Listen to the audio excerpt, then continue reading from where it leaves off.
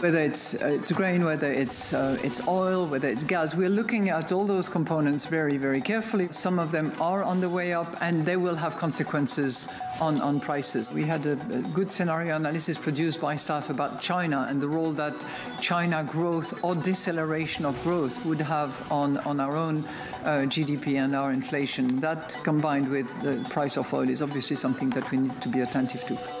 ECB President Christine Lagarde highlighting the energy sector, which is quickly becoming the culprit for absolutely everything this week. US retail sales and producer prices coming in hotter than expected, fueled by higher gasoline prices. Auto workers going on strike, the union nervous about President Biden's robust EV transition, eliminating jobs, and number of US airlines slashing their outlook, all placing the blame on rising fuel costs. All of this, no surprise to Jim Bianco, who wrote a few weeks ago, quote, crude oil and gasoline prices are about to take centre stage. They take centre stage right now. Jim Bianco joined us from Bianco Research alongside Mohamed El-Erian here in New York. Jim, you said it. Here we are, $94 crude. What does it change?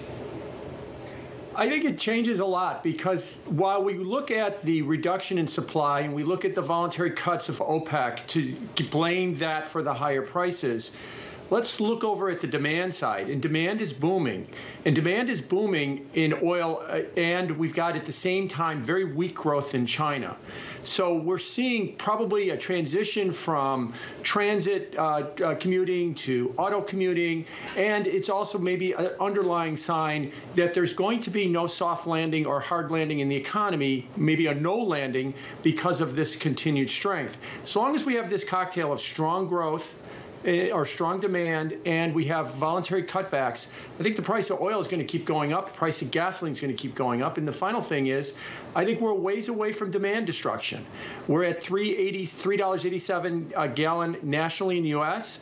I don't think it's $4 that's going to start demand destruction. I think it's much, much higher, and that will first falter, foster into much higher inflation before we start talking about demand destruction. Hey, Jim, this is really important. This goes back to one of my favorite questions at the moment. Do you view this then as a reflection of the extension of the cycle and not a recipe to end it? Yes, I do view it as an extension of the cycle. I've always been of the opinion that we're in a post pandemic economy. Big fancy word for meaning that that shutdown restart of the economy in 2020 was the most important economic event of our lifetime. When we rebooted the economy, it did not come back the same. That doesn't mean dystopian or worse. It means different. And we've got this chronic shortage glut, shortage glut cycle as we try to figure out what this post pandemic economy means. And this is more of the same, whether it's the China slowdown, it's the gasoline, or it's even the strike with the UAW and the Hollywood strike, and nearly the strike with the freight trains in the West Coast ports, and all of a sudden the movement and labor that we're seeing. It's all part of that same mosaic that the economy is fundamentally changed since 2020. Not worse, changed, and we still haven't quite figured out what that is. Jim, you put forward two hypotheses. One is that oil and gas prices are going higher, and two is that demand destruction will take time which raises the, a very important question. What's your feeling about the pass through? How much of this is going to spill over into a wider price impact?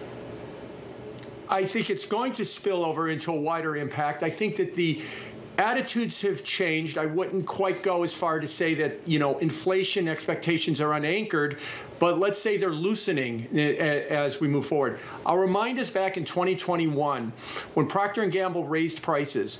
They announced it in March. They said it would be take place in September, and they said that in the interim they'd write a white paper to explain why they were raising prices. That's how epic it was to raise prices two years ago.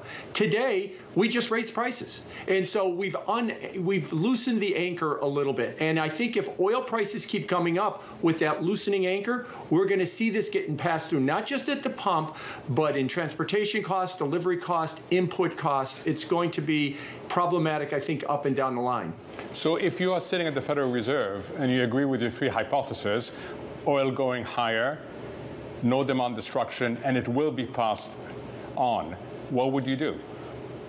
Well, I've been a bit more hawkish than the consensus. I think that they're going to raise rates in November, and I don't think that that's going to be the last rate hike. Now, the next one might not come until 24, but even if there isn't another rate hike, I think the idea that there will be multiple rate cuts in 2024 is premature.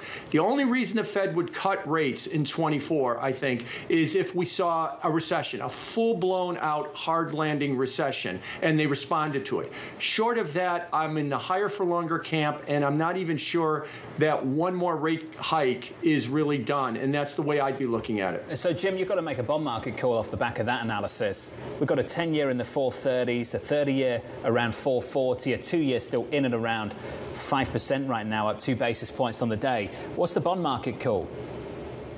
I think the yields are going to continue to head higher. I don't think that the cycle is over. Well, let me back up and say that yields bottomed in August of 2020. I think that ended the 40 year bull market in bonds. We're in a multi year bear market in bonds. We're in year four. August of 23 started year four of it. We're only three basis points or four basis points in the 10 year from another 16 year high.